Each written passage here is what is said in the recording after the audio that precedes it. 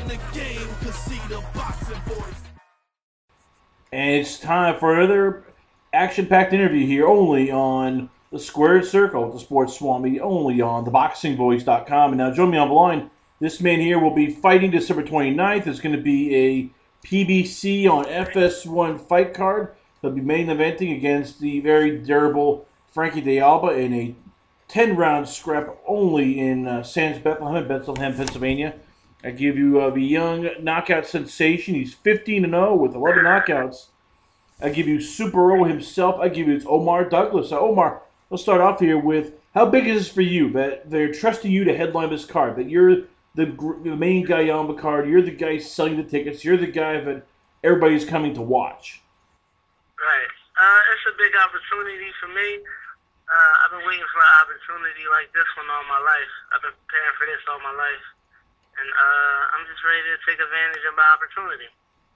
So, what do you see out of Frank uh, out of Frank? I mean, he's from looking at him, he's a Puerto Rican from Reading, Pennsylvania. His last his last fight out, you know, he took care of business here, as they say. He went, we just say he went he went the six rounds, beat Jesus Lufe. His biggest win today is against uh, Bernardo Uribe a six round knockout. What does he bring to the table? What's different about him than anybody else you faced so far? Nothing really besides the fact that he has he has a he has a decent record. Like he has the ability to win. He has, he has you know he's a winner. I, I can say he's a winner. That's the only difference. I look forward to taking care of business on coming the 29th, and like I said, I've been planning for this opportunity my whole life. He seems to be very durable, but people may say I've never been in with an opponent, you know, as like him, but he never faced anyone like me.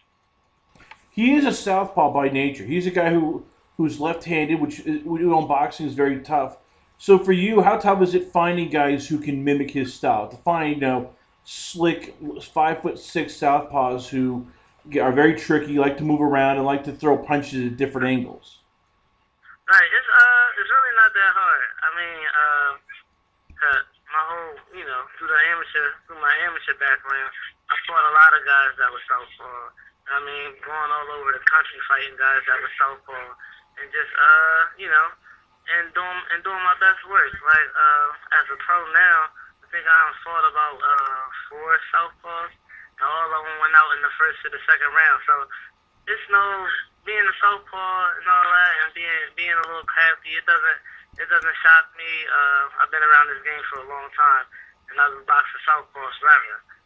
So, uh, yeah, no, no, you know, no real shocker. Take us back to that last fight you had, Braulio Santos versus and you. It was a ten round scrap.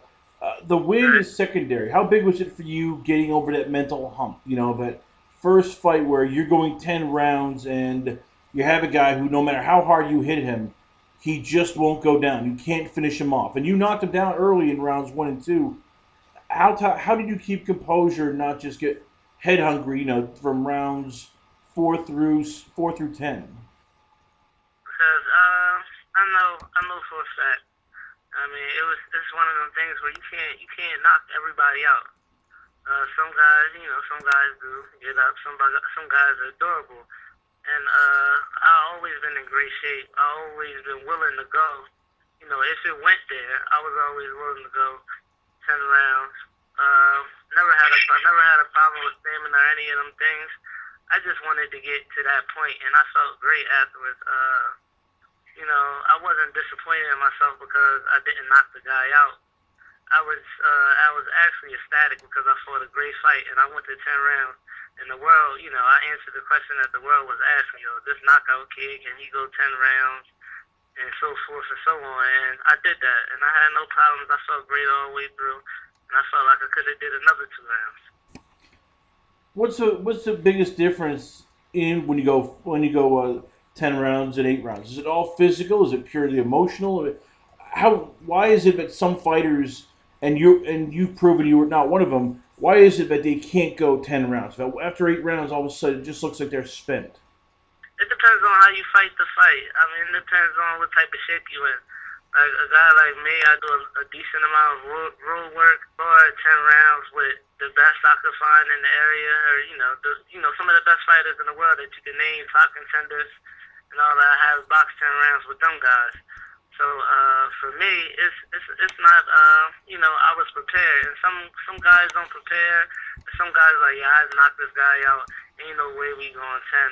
I prepare for every fight like I'm fighting for the world title, regardless if the guy is 20 and 0 or the guy is 0 and 20. I come in in my best condition. This uh is very important for me to come in in tip top shape, and I think a lot of guys underestimate, you know, underestimate that tend to be have a losing record, so forth and so on. And I'm not one of them guys. I come in and I give my very best every time, and I come in great shape every time, regardless of the opponent. Fight everybody like it's the world title, and I, you know, like I fight like there's no tomorrow because I know this is this is what I choose. This is what I chose to do as my career, and I can't let anybody stop me. Whether it's De Alba, whether it's you know any any top contender, I can't let anybody stop me from accomplishing my goals, which is becoming world champion.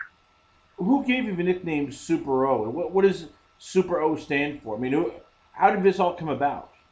The name Super O for me, sparring in the gym, uh, working with guys with welterweights, knocking welterweights down, and going ten rounds with some of the best welterweights and junior welterweights in the area. For me, only being 130 pounds. Uh, for a little guy, uh, I've been told uh, I pack a, a pretty a pretty big punch, and so that's how I developed the name Super O. Once again, we got it is Omar Douglas. We're talking all things, of course, PBC on FS1. We're talking training, sparring. We're talking Super O here. Lately, who have been some of the guys you've been sparring with? Who are some of the guys that either you're going to help work out with, or you're going to, uh, or you're bringing in to help you grow as a fighter? Recently, I have worked with like um, hmm, who have I worked with? Hammer and Eric Hunter, Lou Ray Robinson from Philadelphia, Danny Garcia, uh, Jason Sosa, Tevin Farmer, uh, Anthony Burgess. The list goes on and on and on. Yeah, I boxed a lot of a lot of guys that are top contenders, and I get great work. What is that like when you spar with guys like Lundy and Danny Garcia, especially two guys who they fought on HBO, but one of them's a world champion, the other one has fought multiple times for world title. Both of them are a bit salty. Both of them know every trick, and both of them, if you if you if they feel that you're dogging it, they will punish you. They will basically run you out of a gym by just beating the hell out of you. How much did that help grow you as a fighter? That helped, that helped me grow a lot. I learned a lot of things from them guys. Uh, just being in there, working with them guys, and with them guys in sparring sessions is a great thing. Uh, like Hammer Hank Lundy, he brings world class speed to the table, and uh, Danny brings smart power to the table, and you just learn how to like try try your best to take their best attributes away and work on your and work on yourself. I mean, as far as like defense, as far as offense, you know, using the jab, boxing them guys, giving them movement, walking them, trying to walk them guys down with a decent jab, and uh, stuff like that. Uh, you learn a lot from them guys, especially like fighting on the inside. Amateurs is totally totally different from the pros, so guys do little tricks on the inside where they able to hold and hit you at the same time. Uh, some guys might uh, throw little hip shots and you know, use their shoulders to push off. And it's just different stuff you learn from working with guys on a world class level. So for you to win, win impressively, get you know the the gears churning and the movement going for a title fight. What's the key to victory for you come December 29th?